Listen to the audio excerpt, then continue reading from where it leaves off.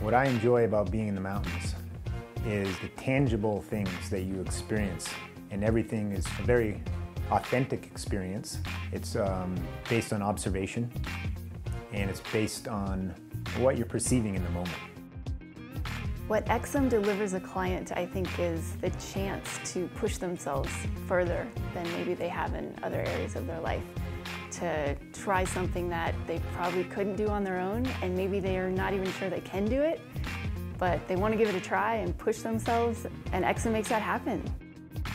Exum is based on uh, educating people. That's what the what the company is all about. We're we're a school and we want people to go away with skills. Instead of just being taken on a climb, we actually teach people how to go climbing.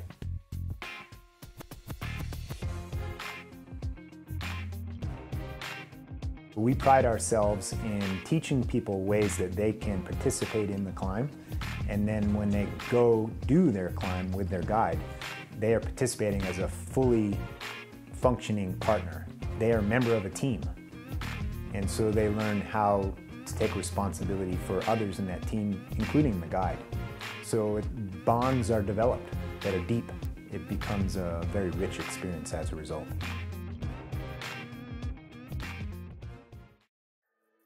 Danger and risk are very essential components of a mountain guiding experience and what makes this experience totally unique from any other. And if you take away the risk, you inherently destroy the experience as one that is visceral, as one that is authentic, as one that is captivating and life-changing. We've been guiding 80 years at Exum Mountain Guides and have a great safety record. And the primary reason we're able to have such a great safety record is simply because of the caliber of the guide that works here. The mountains are dynamic, there's inherent risks, and still we're able to guide um, year after year thousands of clients without any incident or injury. And the simple reason is the guides here are some of the best in the world.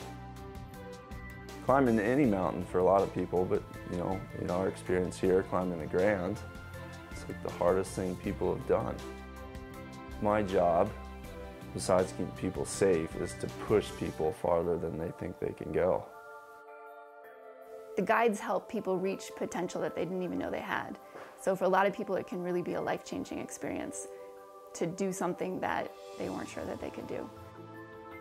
Some of the experiences clients have uh, after a day with one of our guides is that they have learned to independently travel in the mountains and they've overcome some of their fears and they've done that without even really knowing it.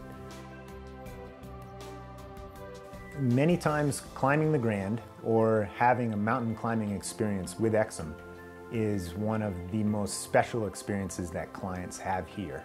Ones that define their life, ones that might alter the way they perceive the world, and ones that they hold most dear and when they come to the latter part of their life, they often come back here to Exum and reconnect with that special experience.